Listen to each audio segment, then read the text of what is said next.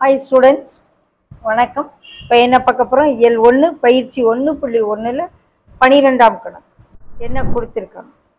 நூற்றி நாற்பத்தி மூணு கணித நூல்களை எல்லா அடுக்குகளிலும் சம எண்ணிக்கையில் அடுக்கி வைத்தால் ஒவ்வொரு அடுக்கிலும் உள்ள நூல்களின் எண்ணிக்கை மற்றும் அடுக்குகளின் எண்ணிக்கையை காண்க.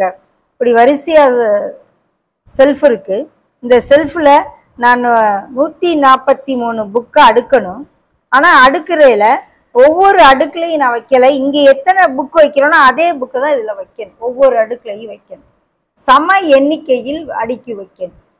அப்போ சம எண்ணிக்கையில் அடுக்கி வைத்தா எத்தனை அடுக்குகளில் இந்த நூற்றி நாற்பத்தி மூணு புக்கை நான் அடுக்கி வைக்கணும். ஸோ இந்த நூற்றி நாற்பத்தி மூணை நான் காரணிப்படுத்துறேன். பதினோரு வாய்ப்பாட்டில் இது போகும்.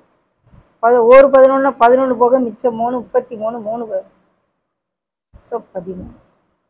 அப்போ பதினோரு பதினோரு புக்காக நான் எத்தனை அடுக்கில் வைக்கலாமா? பதிமூணு அடுக்குகளில் வைக்கலாம்.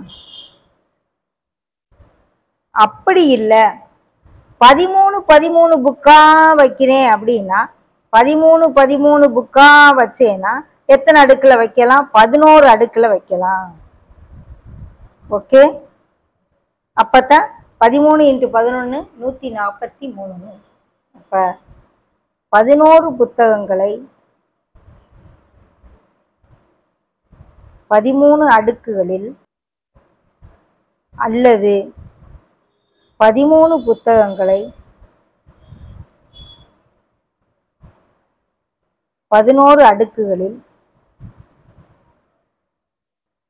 அடுக்கலாம். சமமாக இருக்கணும். ஓகே.